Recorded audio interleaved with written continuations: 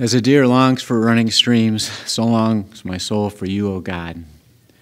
The psalmist is, you know, referring to something I think that uh, is true for us as humans is that we all have a longing for God, and you know that that psalmist is, you know, talking about this hunger that we have, and that's where prayer is supposed to come from, the desire to have contact with God.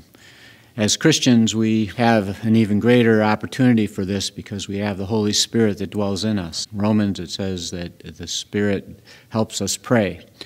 So, um, in this coming Lent, we're going to be offering a prayer class um, to help people um, learn learn various prayer methods. Uh, that we'll be teaching five different prayer methods, and it's going to be a very accessible class. It'll be and it, it'll be for anybody that you know, from a new Christian to an old Christian, and um, we're I'm really excited to be able to talk about prayer. It's something that's been on my heart, and I think God really wants to do some things in this area in our congregation.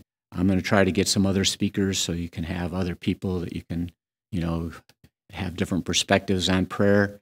It's going to be a safe place for us all to explore um, explore our, our prayer um, and our walk with God. Um, the details are still, um, we're still working out the details. So keep an eye on your bulletin and we'll let you know when, when and where and how the whole thing is going to happen. So thank you.